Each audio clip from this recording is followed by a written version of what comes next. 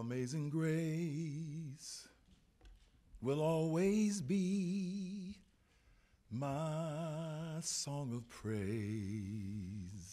You know, we're kind of into those slogans, man. It's like, live free or die, victory or death. Bring it. I can't cook as well as any of your grandmothers. Michelle won't let me have seconds or thirds anymore.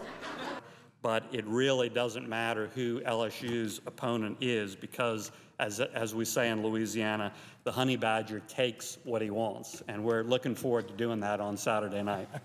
Muammar Gaddafi uh, is killed. Were you aware that he had a strange and, and shall I say, uh, uh, creepy fixation?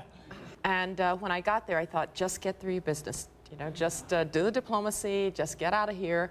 And everything was going fine. And then all of a sudden he said, uh, I have this video for you. And I thought, uh-oh, what is this? But uh, it was actually just pictures of me with Hu Jintao, with uh, Vladimir Putin of Russia, set to a song that he had had written called Black Flower in the White House. We are shamelessly promoting our dad like no other candidate's family ever has. But then again, no one's ever seen a trio like the Jon 2012 girls. We need you to get involved to make sure our next president is based on substance, not sound bites.